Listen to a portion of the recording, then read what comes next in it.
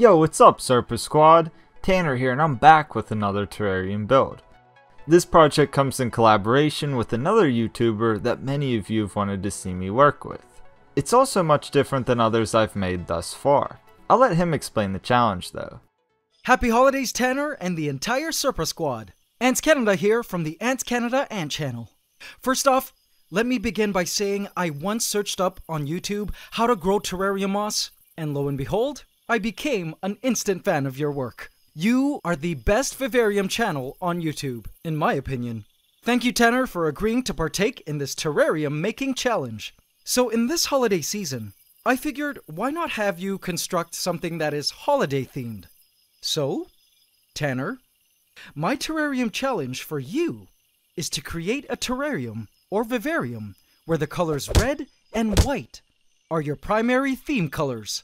You can use plants, driftwood, rocks, whatever natural materials you like, as long as the most dominant colors of your final construct are red and white. Good luck, and I can't wait to see what you come up with.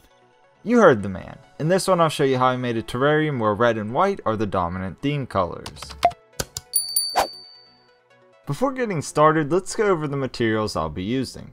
First up is the container, which is this awesome glass jug. It's a decent size and holds roughly 1.5 gallons of water. The challenge of this build is really to stay within the confines of the color scheme. To stay within that boundary, my primary hardscape items are white Caribbean beach pebbles. They don't look like pebbles though because I broke them into pieces to create angular stones. Additionally, I have some white marble chips for small accent elements. White sand also seemed like an obvious choice, along with these red glass pebbles. Let's not forget about activated carbon and my custom substrate mix. It's composed of cocoa fiber, orchid bark, sphagnum moss, charcoal, and sand. Finding suitable materials was easy enough. Obtaining plants in a short amount of time was more challenging. I didn't use all of these in the build, but my initial selection included Fittonia argyroneura Pink Angel, Fittonia verschaffeltii Red Vein, Cryptanthus bivittatus ruby, Alternanthera ficoidea Red Bitsy, Selaginella umbrosa, Pilea spruceana, Chlorophytum laxum, Alternanthera versicolor snowball, Peperomia caperata burgundy, Selaginella kraussiana gold tips, and Begonia rex red kiss. I'll explain more about all of those as we work through the build. Now then, let's get started. I made my false bottom using a layer of white sand. Initially I wanted to use the red glass pebbles and a barrier for this layer, but my vision was to create a stratified look that wouldn't have been possible with those items.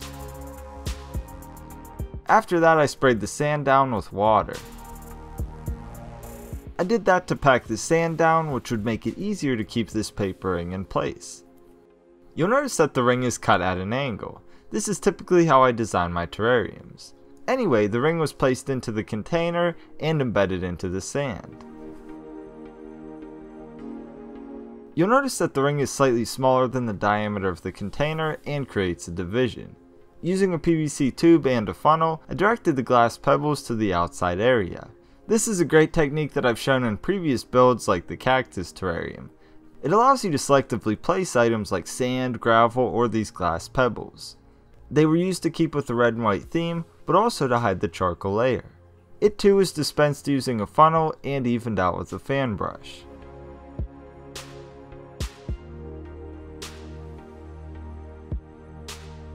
Next I filled the remainder of the paper ring with my substrate mix.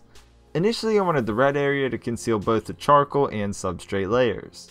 However, as I worked through the build, I realized that it just wouldn't be possible. Regardless, the papering served its purpose and was carefully removed from the container.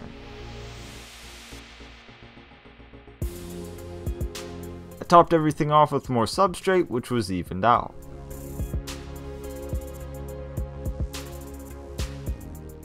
With all of these base layers in place, I could finally add the hardscape. In doing so, I situated all of the large stones first.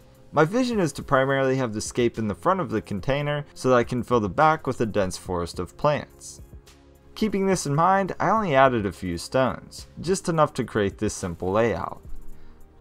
After hardscaping, I prepped the plants by removing them from the existing substrate. I started by adding one of the Fittonia to the back of the scape. Being one of the larger, upright plants, it was perfect for this spot.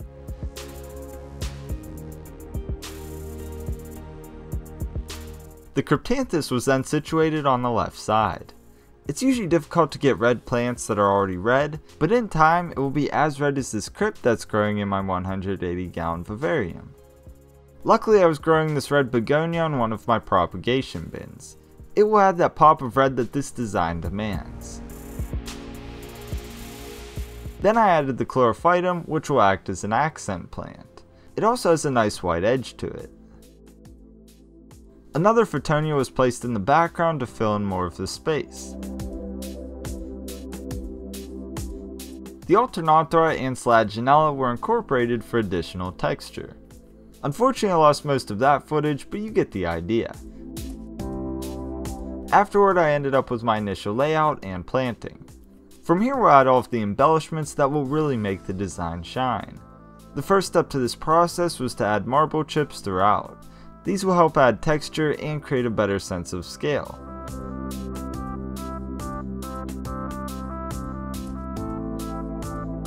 Then I used the PVC funnel contraption to add sand throughout as a top dressing for the substrate.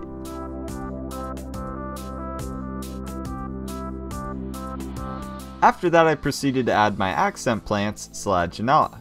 Since most of the plants are red, green is the perfect accent.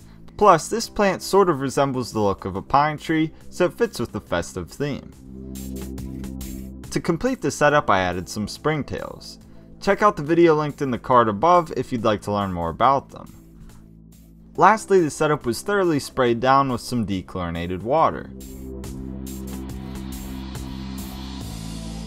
I used my tweezers and a microfiber cloth to clean the interior of the container. Another microfiber cloth was also used to clean off the outside. Everything was then sealed up with a cork.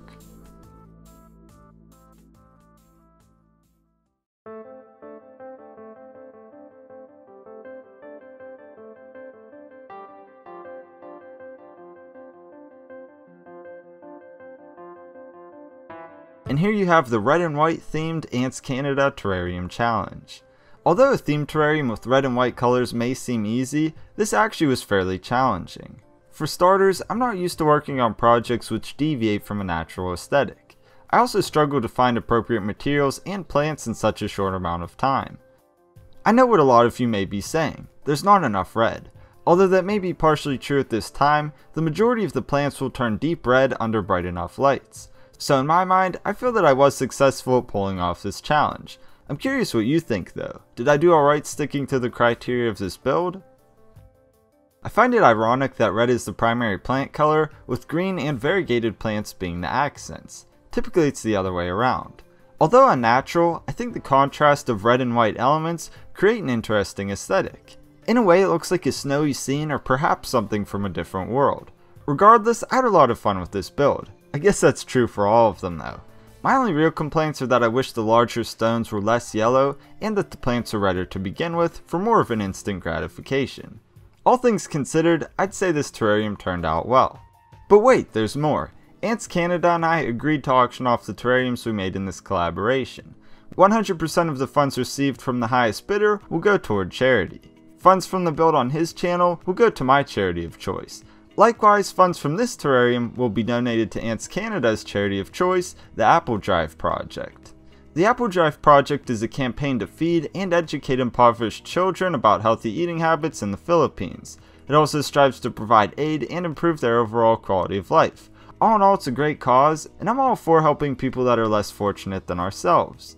I'll leave a link to the Apple Drive project in the video description if you'd like to learn more about it. Due to the nature of the terrarium, it can only be given to someone who's local to my area. I'm going to assume that most of you aren't from around here, so I've set up a few alternatives. If you're located in the lower 48 United States, I'll ship you a terrarium kit. I can give you the items from this build or curate something based on your personal taste. If you're located in the other states or another country, I can ship you something of equal value, buy you a gift card or something of that nature. We can discuss via email should that be the case. In addition to all of that, I'll match your donation up to $100. So if you're interested in making a donation to charity and possibly winning this terrarium, a terrarium kit, or something of equal value, all you have to do is send me an email. I'll leave all of the details and rules for that down in the video description. I'll only be accepting bids until December 25th, so make sure that you message me before it's too late. Also, if you haven't already, be sure to go over to Ants Canada's channel to see my collaboration with him. If you enjoy ants and other critters, then I know you'll enjoy his channel. He delivers content in a very engaging and fun way that I feel does a great job at getting people excited about nature. I'll link that up in the pinned comment and in the video description. Anyway, that's about all I have to say. Thanks again Ants Canada for linking up with me to do a collab. I hope that you had a good time and maybe we'll have to do this again. Only next time, I think we need to get some ants. As always Serpa Squad, I hope you enjoyed this one and I thank you so much for watching. Merry Christmas and Happy Holidays to those of you who celebrate. I'll see you all in the next one. Take care and peace.